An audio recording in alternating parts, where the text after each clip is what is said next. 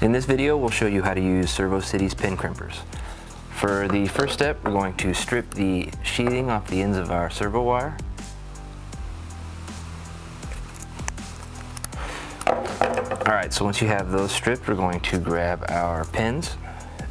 And what we'll do with these is we're going to separate them into their individual three parts and we'll leave this little tab here on the end as we cut those apart.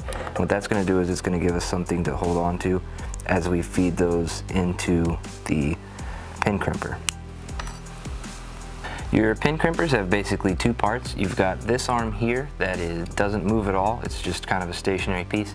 And then you've got the arm that you pull on and does the crimping.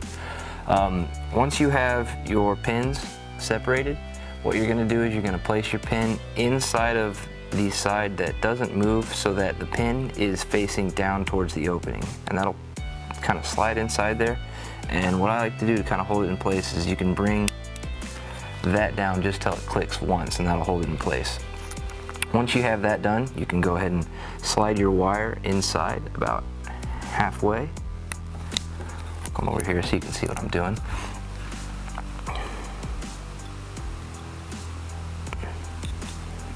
Once that's in, crimp it down the rest of the way. And then that just wiggles out right there. Once you've got pins on all three of your wires, you'll go ahead and take off these tabs and you can just bend those back and forth and they'll pop right off. So we'll take that off of all three of our wires. Once you have your three pins on, we're going to connect that to the servo connector. And the servo connector has an open-ended side and it also has a flat side.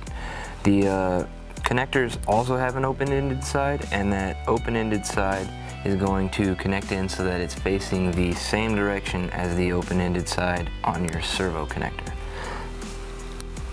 So those will just slide in and you should hear just a little bit of a snap and they'll lock in place.